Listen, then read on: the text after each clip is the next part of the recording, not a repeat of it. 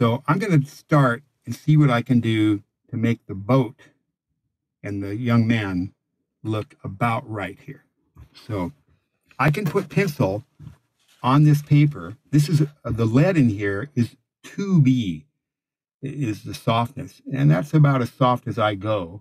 I can go you know, softer like a 4B. An H is about like an office pencil or so. And that might be a little hard. So I found for me a 2B lead uh, is about right.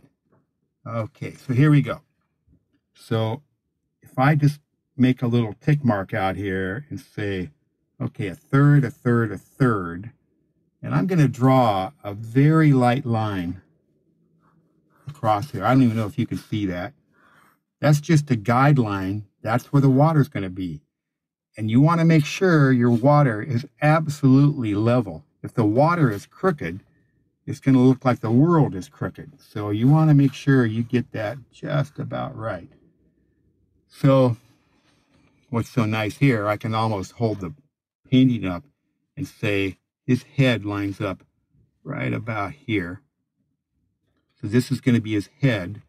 And his head, oh, there's uh, three eighths of an inch here under the water line, so to speak. So I'm going to start there and say that's where the top of his head is.